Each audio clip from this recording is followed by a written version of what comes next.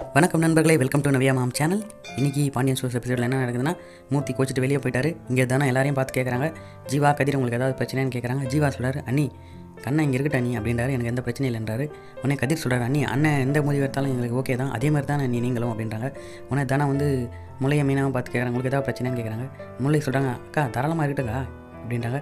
மீனா உள்ளுக்குள்ளே ஏதோ நினச்சிட்டேன் இருக்கட்டும் இருக்கட்டுங்க அப்படின்றாங்க. உடனே ஜீவா அண்ணி அண்ணா வெளியே தான் வெயிட் பண்ணுறாரு அவர் கூட நான் கடைக்கு கிளம்புறேன்னு சொல்லி சத்தியமூர்த்தியோட கடைக்கு வண்டியில் போயினாரு போயிட்டு இருக்காரு போயிட்டே இருக்கும்போது அவங்க அண்ணன் கிட்ட அண்ணா அண்ணி எந்த முடிவு எடுத்தாலும் அது நம்ம வீட்டுக்கு நல்லது தானண்ணா கண்ணை கஷ்டப்படுவான் தானே அண்ணி இந்த முடிவு எடுத்தாங்கன்றாரு. உடனே சத்தியமூர்த்தி லைட்டாக சிரிச்சிட்டே டேய் சும்மா வாடா அப்படின்றாரு. இதை க ஜீவா வந்து கண்ணாடியில் பார்த்துறாரு ஸோ அண்ணன் நார்மல் மோடுக்கு வந்துட்டாருன்ட்டு.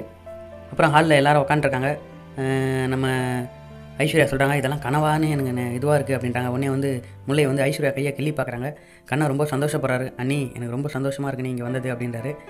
கண்ணா நீ எதுவும் பேசாத இனிமேல் நீங்கள் இங்கே தான் இருக்குன்னு சொல்லி தனம் சொல்கிறாங்க அடுத்த சீனில் கிச்சனில் வந்து முல்லையும் மீனாவும் பேசிகிட்டு இருக்காங்க. மீனா சொல்கிறாங்க இந்த வீட்டில் நம்ம ஏதாவது ஒரு முடிவு எடுக்க முடியுதா? கண்ணனுக்காக நான் எவ்வளோ கஷ்டப்பட்டேன். ஆனால் கண்ணன் என்னால் வீட்டுக்கு கூப்பிட்டு வர முடியல பார்த்தியா ஆனால் பெரியவங்க அந்த அக்கா நினச்சா மட்டும் எல்லாம் நடக்குது பார்த்தியா அப்படின்னு சொல்கிறாங்க மீனா வந்து முல்லை கிட்ட முல்லை வந்து சொல்கிறாங்க அக்கா தான் கண்ணனை தூக்கி வளர்த்தது. ஸோ அவங்க அவங்க தான் முடிவு எடுக்க முடியும். நம்மளால் எப்படி மீனா அப்படின்றாங்க. உடனே மீனா இதில் ஐஷு வேற. அவளால் என்ன பிரச்சனை வரப்போதோ சொல்கிறாங்க அப்படி சொல்லிட்டே இருக்கும்போது ஐஷு அந்த பக்கம் கேட்டுறாங்க. உடனே வராங்க அவங்கள கிச்சனுக்கு அம்மா என்னை பற்றி என்ன பேசிகிட்டு இருக்கீங்கன்ட்டு உடனே அதுக்கு வந்து மீனா சொல்கிறாங்க உன்னை பற்றி எதுவும் பேசல தாயே. உன்னை பற்றி பேசுறதுக்கு ஒன்றும் இல்லை சொல்லி அங்கே வந்து கிளம்பிடுறாங்க. அடுத்த சீனில் பார்த்தீங்கன்னா முல்லை வந்து கட்டிட வேலை நடக்கிற இடத்துல போய் கதிரை பார்க்குறாங்க எங்க? இந்தாங்க சூப்புன்னு கொடுக்குறாங்க.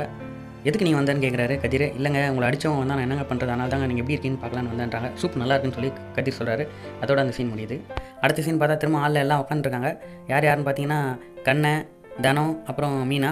அப்போ வந்து ஐஸ்வர்யா மூட்டையை தூக்கி ஏதோ உள்ளே எடுத்துகிட்டு வராங்க. என்ன ஐஸ்வர்னு கேட்குறாங்க இல்லை அங்கேருந்து பாத்திரத்தெல்லாம் எடுத்துன்னு வரேன்.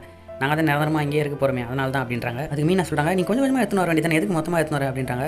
ஐயோ இல்லைனா இவங்க திடீர்னு மனசு மாறிட்டாங்கன்னா அப்படின்னு தனத்தை பார்த்து சொல்கிறாங்க தனம் அப்படியே ஒரு மாதிரி கஷ்டமாக பார்க்குறாங்க அதோட இந்த எபிசோட் முடியுது. தேங்க்யூ